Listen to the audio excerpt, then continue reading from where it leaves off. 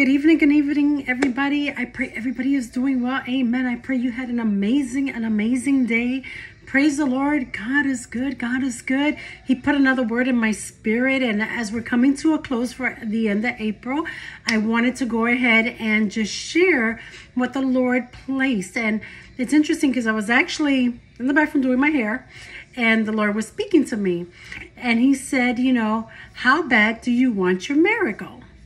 And it's interesting how the last two weeks the Lord has been actually for the whole month. Actually, it's been a little bit longer than that, but it's been more vivid that He has been talking to me and really more clarity on how to pray and what to pray next. And the Holy Spirit's just guiding me little by little and little steps, but it's like as I keep stepping and stepping and stepping, it's becoming bigger, bigger, and bigger. My prayers, amen, to the expected end.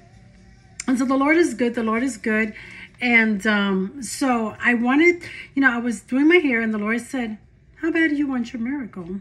Because I, I still felt just a little short, you know, of some prayers I was believing God for. And, uh, and I was like, I'm believing and I'm believing, you know, but I'm tired. I was tired. And I just felt, okay, Lord. All right, Lord. And I just prayed. And I just felt the Lord just, you know, lift me up and and really give me that hope again. And amen. I put some worship music on. Praise the Lord. Then I was doing my hair and he says, How bad do you want your miracle? How far? And then he reminded me, How far will you go?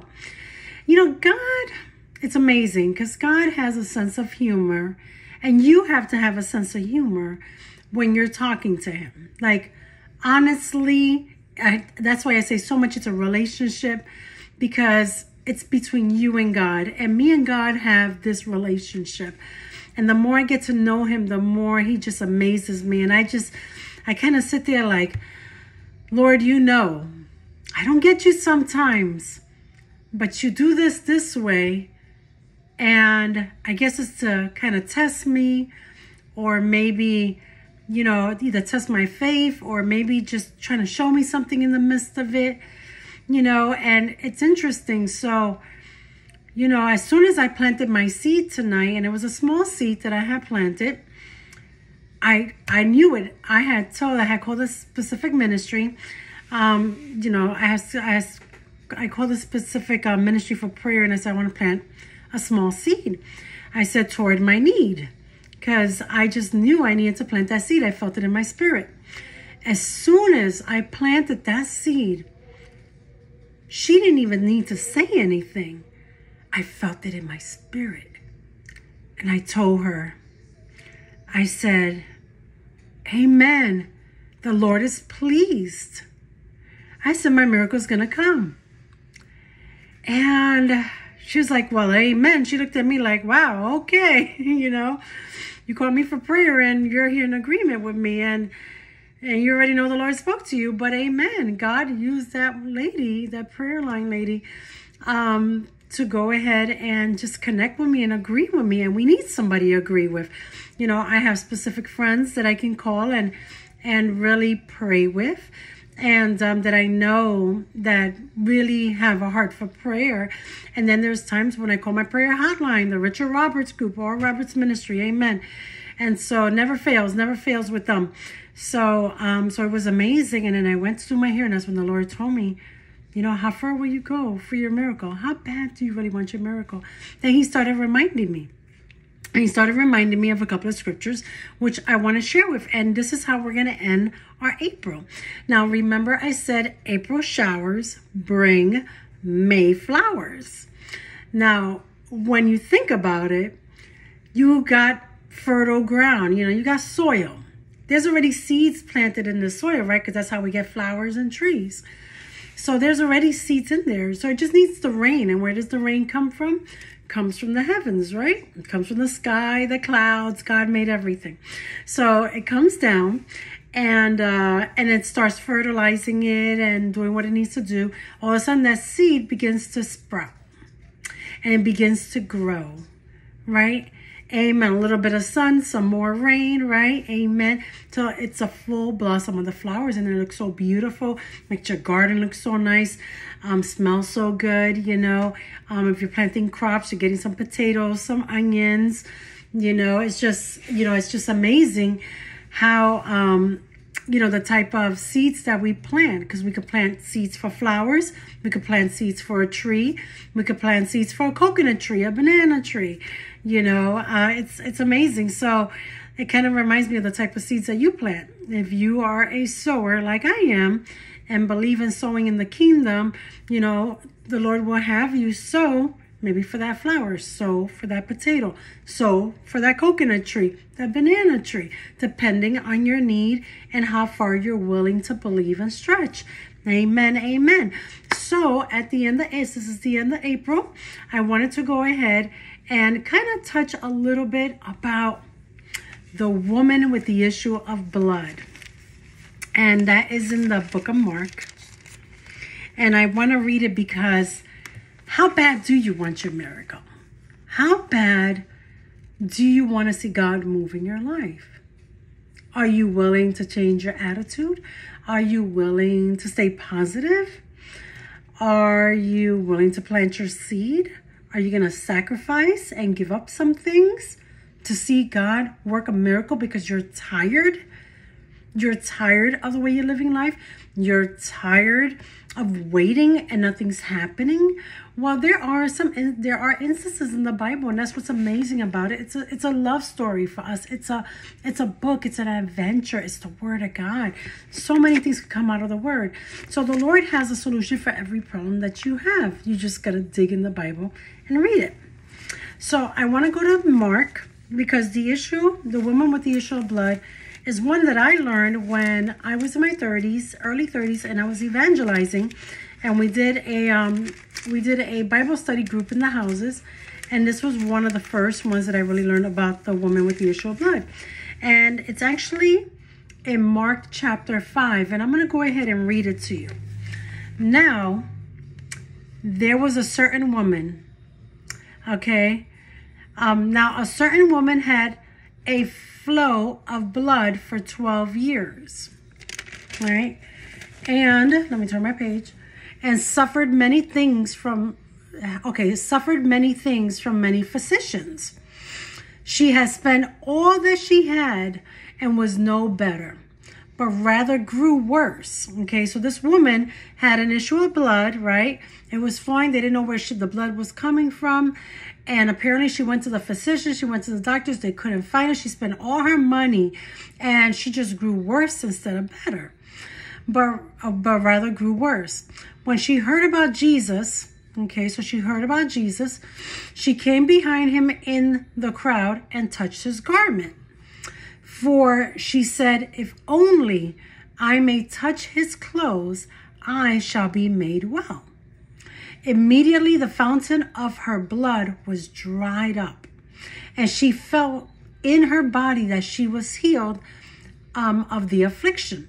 And Jesus, immediately knowing in himself that power had gone out of him. Hmm, interesting, right? Okay. Um, he turns right. He turns around in the crowd and says, "Who touched me?" Excuse me. Oh, excuse me. I'm so sorry. I'm in the video. I'm going to sneeze. Okay, sorry about that. So, and Jesus immediately knowing in himself that power had gone out of him, turned around in the crowd and said, Who touched my clothes? But his disciples said to him, You see the multitude, the multitude thronging you. You know, they're pressing against him, the crowd, and you say, Who touched me? And he looked around to see to see her who had done this thing. But the woman, fearing and trembling, knowing what had happened to her, came and fell down before him and told him the whole truth.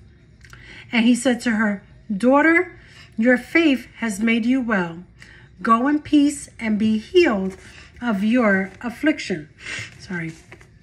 And so it's interesting how Jesus was already around doing miracles, right? And she heard about Jesus. And then, you know, she went to doctor, she spent all her money, she did everything that she could to go ahead and try to stop this bleeding, but she got worse. So she was at a very desperate time in her life. She heard about this man named Jesus who was making miracles happen. So she, even though he had a crowd pressed around him, she pushed through the crowd, snuck, and she had enough faith and desperation that if I just touch the hem of his garment, I will be healed. And when she did that with her faith and the point of contact of touching his hem connected, whew, the miracle happened. Because she believed and she knew Jesus could do miracles. She had faith. She was in her desperate hour and the miracle happened. Immediately, it said that the blood dried up um, inside of her and that affliction went away. Amen. And she couldn't even believe it. It says here that she was trembling. Like, wow, I can't believe it. I can't believe it. But Jesus said it, you know, he says here, daughter, your faith has made you well. Go in peace and be healed of your affliction. Amen. What are you believing God for tonight? Where are you planting your seeds? Are you believing for a miracle? How far are you willing to touch the hem of Jesus, to touch um, the hem of Jesus's garment. Amen. How far are you going to press against that crowd? No matter who's looking at you, no matter what people think, are you going to believe for the supernatural? Are you going to believe for that miracle? Are you going to believe Jesus? Or are you going to believe the people around you with the negativities? Right? Amen. Amen. So that is one example. Amen. The next one that came to me was the story of Hannah. This is another amazing story on here. Now, this has to be in the book of Samuel. And um, and this is Hannah is actually Samuel's mother. So um, I'm going to go into the story a little bit here because we're going to talk about the mother and father. Now it says on here, so her husband, you know, um, it says his name here. Okay, the uh, his name is Zophim. Okay, so it says on number two, this is chapter one, number two, it says, and he had two wives, right? So the name of one wife was Hannah and the name of the other wife was Peninnah. But Peninnah, she had children. But Hannah had no children. Okay, so this is back in the day, you know, they used to marry a lot of women back then, blah, blah, blah. Okay, Old Testament, old. Okay, so anyway, um, this man went up from the, his city yearly to yearly to worship a sacrifice to the Lord of hosts in Shiloh, along with his two sons. Right. So I'm gonna skip a little bit and go down, and to number five. It says here, but to Hannah. Okay, let me go down. I'm sorry. Okay, and uh, number four. And whenever the time came for Elkanah to make an offering, he will give portions to Peninnah, his wife, and to all her sons and daughters. But to Hannah, okay, he will give a double portion, for he loved Hannah, although the Lord had closed her womb. And her, her rival um, also provoked her severely to make her miserable because the Lord had closed her womb. So she was being made fun of because she didn't have no children. And just to put on top of it, the other wife was having all these kids and she wasn't having no kids. So let's this is the story of Hannah. Let's see what happens, right? So it says here, okay, so so it was year by year when she went up to the house of the Lord that she that she provoked her. Therefore she wept and did not eat. Now Hannah's vow number 8. Then Elkanah, her husband, oh, his name is Elkanah, sorry, um, said to her, said to her, Hannah, why do you weep? Why do you not eat? Why is your heart grieved? Am I not better to you than 10 sons? You know, he understood and he accepted that she couldn't have children. And that's, you know, I guess the Lord's will, and he accepted it. But he still loved her. So Hannah arose after they had finished eating and drinking in Shiloh. Now Eli the priest was sitting on the seat by the doorpost of the tabernacle of the Lord, and she was in bitterness of her soul, and prayed to the Lord and wept in, ang- in anger.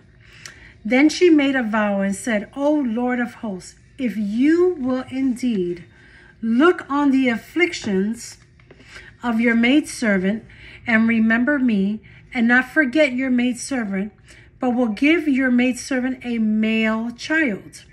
Then I would then I will give him to the Lord all the days of his life, and no razor shall come upon his head. And it happened as she continued praying before the Lord that Eli watched her mouth. Now Hannah spoke in her heart.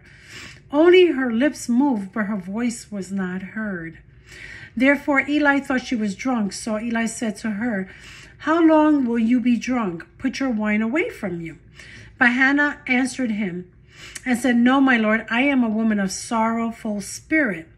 I have drunk neither wine nor intoxicating drink, but have poured out my spirit before the Lord. Do not consider your maidservant a wicked woman, for out of the abundance of my complaint and grief I have spoken until now. Then Eli answered and said, Go in peace, and the God of Israel grant your petition which you have asked of him. And she said, Let your maidservant find favor in your sight. So the woman went her way and ate, and her face was no longer sad. Now, on here a little bit, you know, basically, Hannah, like I said, didn't have children, and she was being mocked, and she felt left out because she didn't have any kids. Even her husband was like, Why are you being so sad? You know, but a woman's pain is a woman's pain, and things that we have to deal with. I mean, I'm sure the man wanted children, but he had children with another woman. But Hannah wanted her own child, right? And so she went. They do like a um a sacrifice uh, festival thingy every year. They go ahead and worship the Lord. So she took that time out to really cry out to God. She cried out to God, God silently, and then as she was crying out to God, she made a vow to Him, and she said, "Lord, if you have favor on me and give me a son, I will give him back to you." Okay, so she made a deal with God. So Eli, the, pro- the priest, prophet priest, okay, came out and said, The Lord has answered your prayers, right? So she was happy. She felt that in her spirit, God answered my prayer. So she went along, right? And so what ends up happening after that? Then they rose early in the morning and worshiped before the Lord and returned and came to their house. This is her and her husband. And Elkanah knew Hannah, his wife, and the Lord remembered her. So they went and had some sex, um, made love, and the Lord remembered her. And it came to pass in the process of time that Hannah conceived and bore a son and called his name Samuel because I have asked for him from the Lord. Isn't that amazing?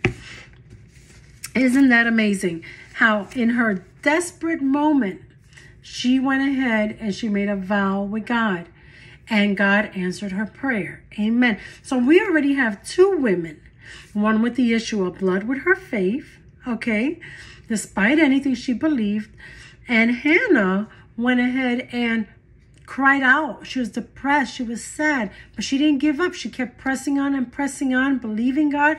She made a promise to God that if she got a son, she'll give the son back to him. And she did. She ended up keeping her word. Amen. Praise the Lord. God has an interesting way of how he answers prayers. Amen. Amen. Now, the next one I want to go over is planting seeds right? Similar to like what I did today, right? And the Lord, and like I said, the Bible has many different examples and many different stories in here on how God um, you know, communicates with his creation, right? Amen. So this one here is on Malachi, right? And this is what happens when you bring your tithes, right? It says here on Malachi 10, bring all the tithes into the storehouse that there may be food in my house. Try me now in this, says the Lord of hosts, if I will not open for you the windows of heaven and pour out such a blessing that there will be there will not be room enough to receive it. Then he adds something else to it. He says, And I will rebuke the devourer for your sakes, so that he will not destroy the fruits of your ground. Nor shall the vine fail to bear fruit for you in the field, says the Lord of hosts, and all the nations will call you blessed. For you will be a delightful land, says the Lord of hosts. So the seed was planted, but all the tithes that has to do with financials, the Lord says to test him, try him, and see if he does not take that seed and multiply it. Then he adds another blessing to it and says, I'm going to rebuke the devourer for you, the one that's trying to steal your money. And you, sometimes you feel like you have holes in your pockets. You feel like you work so hard, you're not getting anywhere, you know. But the Lord says, because you trusted in me and you planted a seed in my home, in my house, I'm going to go ahead and bless you and I'm going to rebuke the devourer for your faithfulness, right? Amen. Praise the Lord. So it is amazing. I'm sorry, my nose. Um, it is amazing how God has a story for each and every one of us. And I wanted to share, and now one really with the woman with the issue of the blood. Um, I know in the in the Together Beyond Blessed group, we were talking about women. Okay, these are strong women out there that have faith in God. They believed in God. They were desperate in their hour, you know. And then Hannah, Hannah's story really touches my heart a lot. Although I've never gone through what Hannah has gone through, but I know many women have. And it's not easy to keep that faith. But, you know, whether it's a child or it's believing for a husband or, you know, maybe you're trying to get delivered from an addiction, um, maybe depression, you know, so many different things out there. How far are you believing God for your miracle? And are you going to give up and allow the devil to win? Or are you going to stand strong okay, like a pillar, you're going to stand strong and you're going to keep fighting the good fight of faith, right? And until that miracle comes. And you're going to pray, you're going to give thanks to God for your miracle. Amen. You know, my own personal testimony, and I'll just share with you um, one, because this is the last scripture I want you to read. And this one here is um, actually in the book of Ecclesiastes and it talks about making vows with God. Now, sometimes we got to be careful with the promises that we make to God because if you're not going to keep it, ooh, ask God to forgive you. ask God to forgive you, um, you know, and uh, and repent from it, you know. But you know, many times in our desperate situations, you know, we ask God and we plead bargains with Him. You know, it, the Bible does it. You know, people in the Old Testament did it, and I'm sure people nowadays still do it. Make sure if you promise, made God a promise, and you haven't fulfilled it, ask God to forgive you from it and repent from it. And just say, Lord, you know, maybe you can renew a new promise to Him, or maybe just revise it in some way, but be, very careful. But at the same token, it works.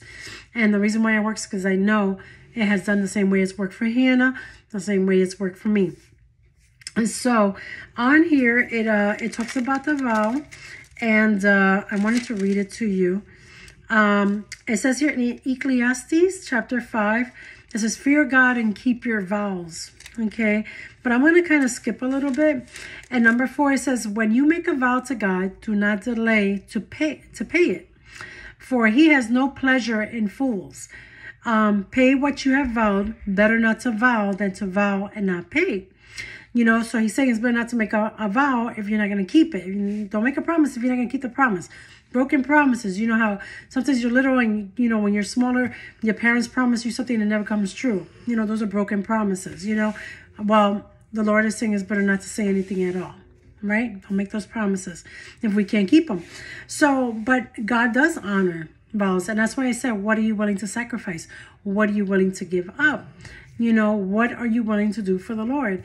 Even if it's, you know, um, something as simple as I'm going to say hello to everybody today. I'm going to say God bless you to, to, to people as I go along throughout my day or through my walk. You know, Lord, um, you know, I'm going to try, I'm going to try to give a dollar to every homeless person that I see. You know, God knows your heart and he knows what you can keep and what you can't keep. I'm not saying for you to make a vow that you cannot keep something high. No, I wouldn't do that. Starting with the smallest little thing. So my personal testimony, and I'll share it um, you know, the reason why I do these videos and the reasons why I don't stop. I took a break and I told the Lord I took a break because I have promised him that I'll be his hands and feet and I will do whatever he asks me to do. And I kept my word. Um, and there's times there were breaks in between because life happened. And, um, you know, and he understood. But there were times when he would come back and remind me, remember, you said this. And so the Lord just continues. I just, I don't fight it. I just embrace it and just go along. And I just talk to God. Well, Lord, if you want me to do these videos, then help me be able to not be afraid of the camera or help me this and that, you know. And I just start talking to him. And I don't mind anyway doing the works of the Lord because it's rewarding. Amen. It's part of my calling. So, um, way back in the day when I first started, um, my my uh my actually my oldest daughter had gotten into a little situation and she was a teenager by then and i was really really concerned for her and so um as a mom concerned for their child you know, I remember that's when I started going to church and I heard a sermon, um, you know, about, you know, promises to God and very similar to what we're talking about. So one day, um, at the end of service, I just went up.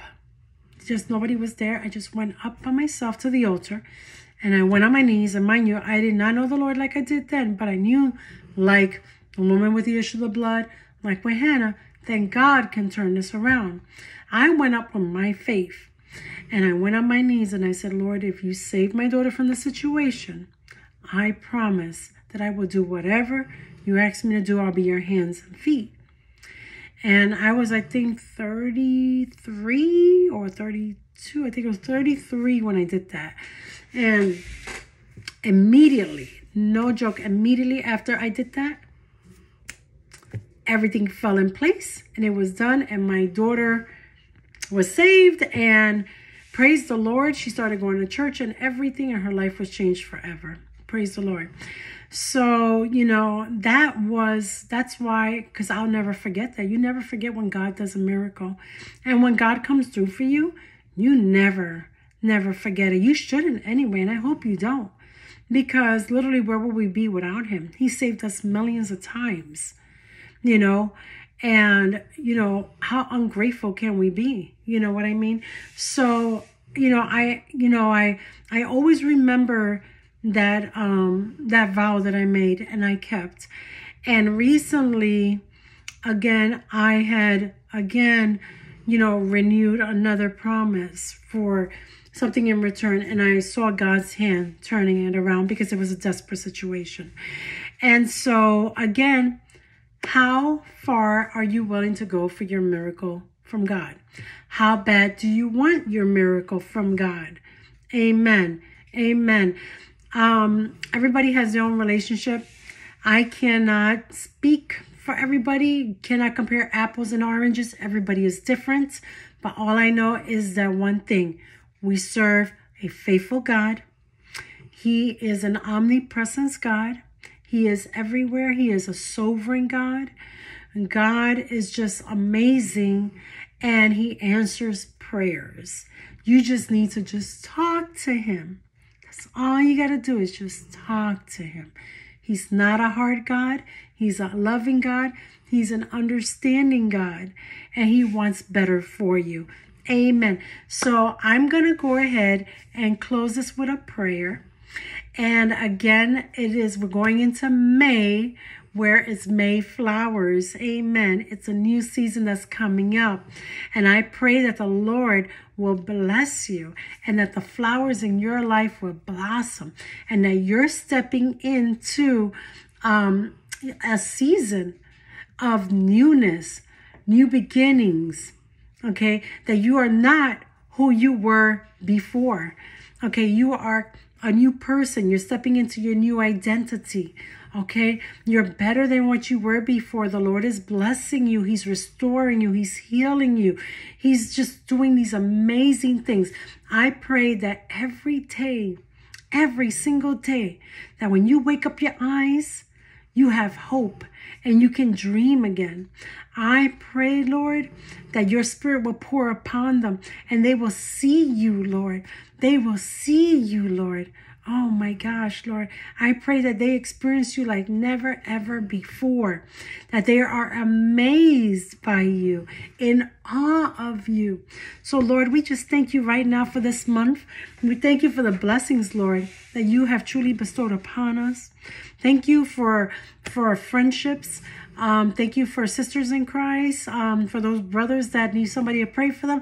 I pray for, you know, I thank God that I pray that God will send you brothers to pray for you as well. I pray that the Lord will answer each, you know, like, will answer all your prayers and give you your heart's desires that you may dream again. Amen. Amen. In Jesus' name, I pray. Until the next time that we talk on a real, real talk with a real God. Amen. And together beyond bless women's group. Thank you again and good night to you all. Bye now.